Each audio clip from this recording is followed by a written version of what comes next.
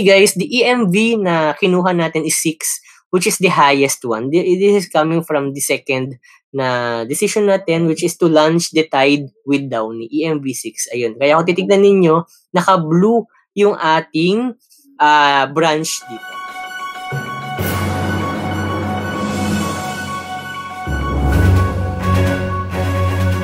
Yes, hello everyone. So good day to all of you.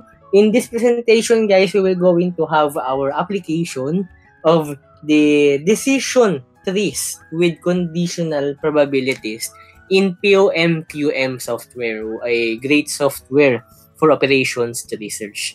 So for our problem, we have this problem regarding Procter & Gamble's Tide.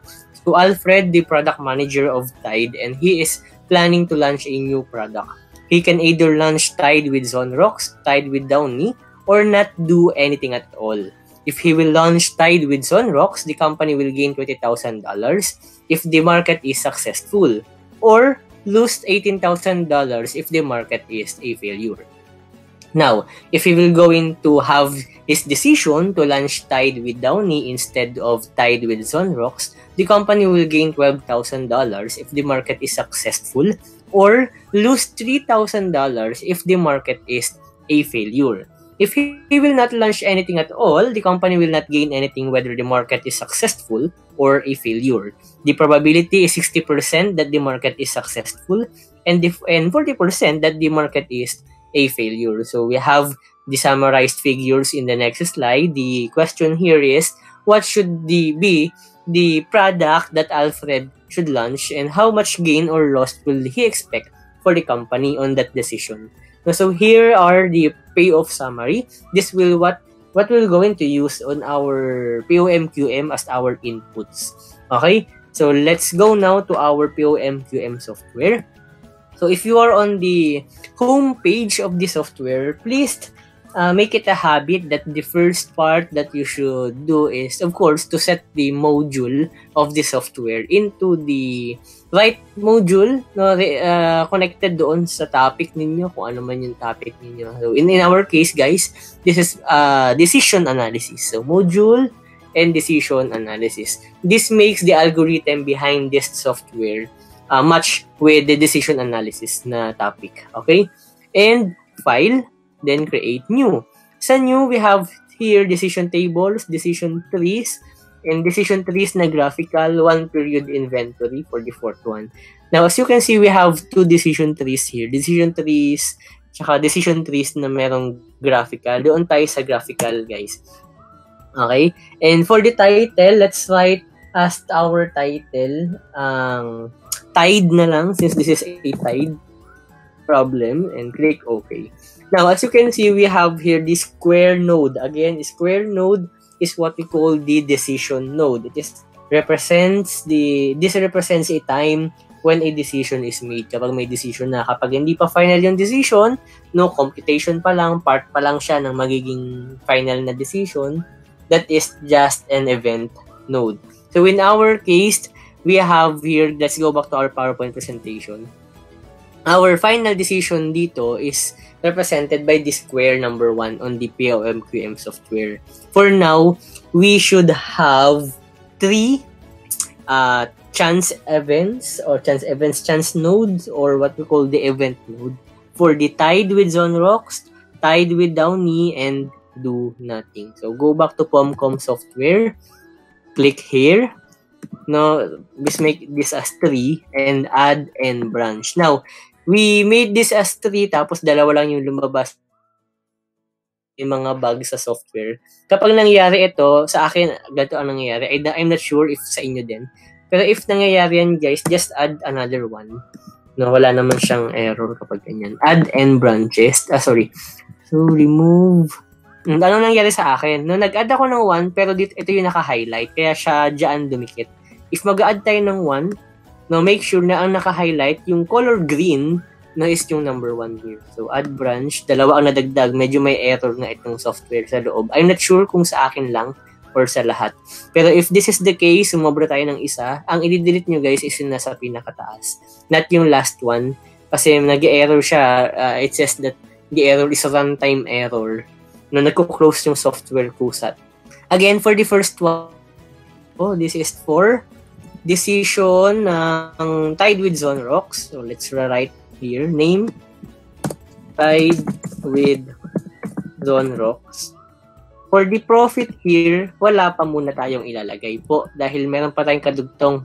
Make sure guys na from left to right tayo ang paggawa ng decision tree. Pero kapag solving na, kapag ang kinukuha na is manual tayong computation for EMV from right to left.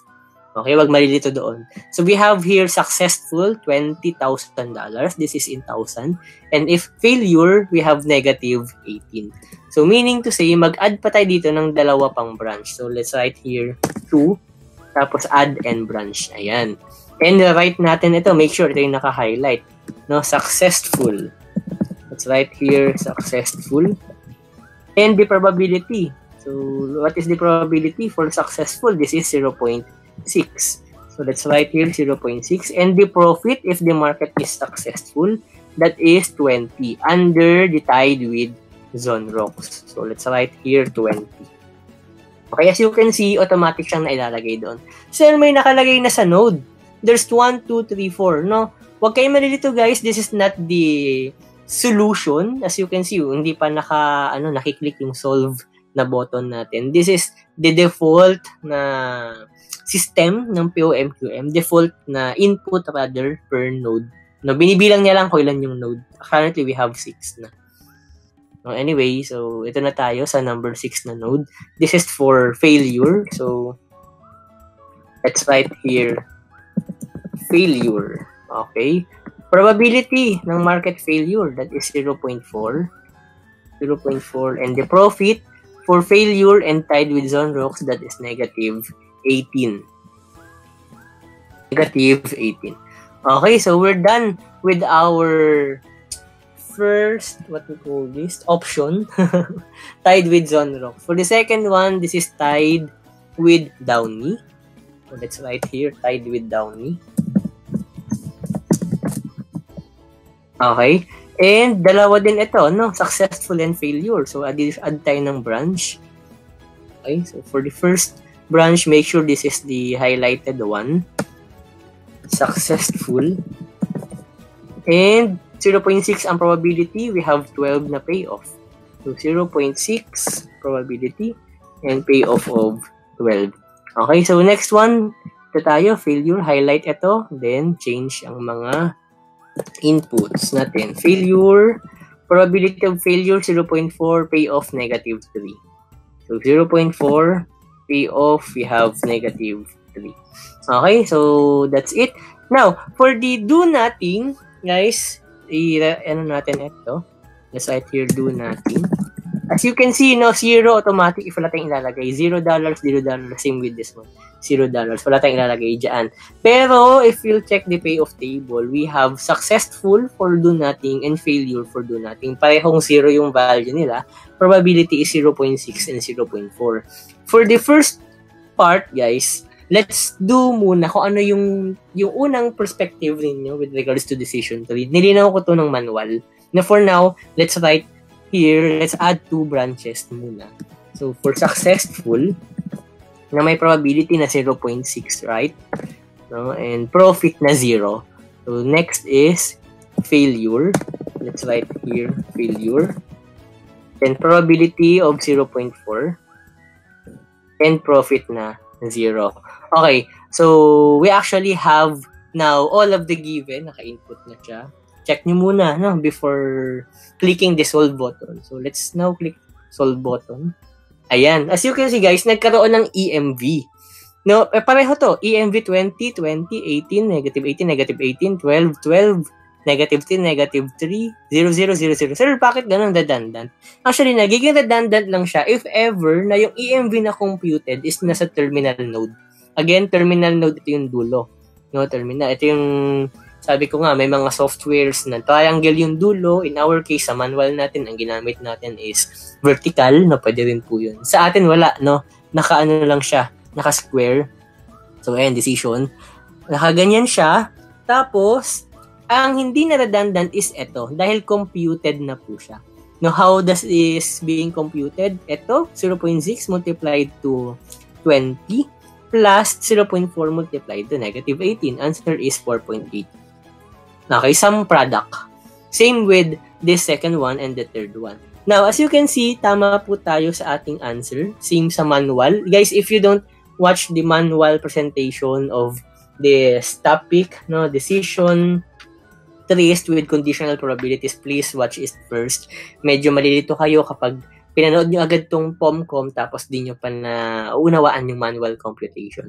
As you can see guys, the EMV na kinuha natin is 6 which is the highest one. This is coming from the second na decision natin which is to launch the tide with Downey, EMV6. Ayun. Kaya kung titignan ninyo, naka-blue yung ating uh, branch dito.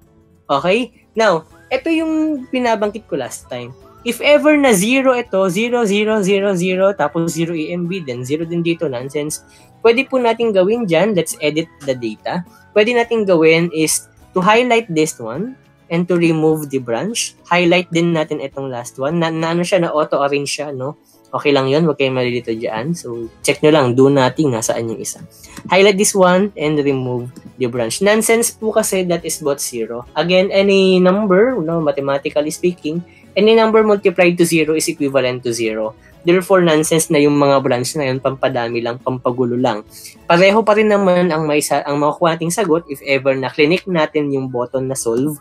So, click. As you can see, we have 4.8, 6, and 0. Same lang din po and final answer natin dito sa ating decision node which is EMV equals to $6 coming from the tide with down. Okay? So, I hope that is clear with you guys and I'm looking forward sa mastery ng paggamit ninyo ng POMCOM and of course, yung manual muna. Again, software is nonsense. Software is useless if you don't know how to solve it manually because solving it manually makes you understand the topic ng mas malalim no and yung analysis ang pinaka-importante diyan.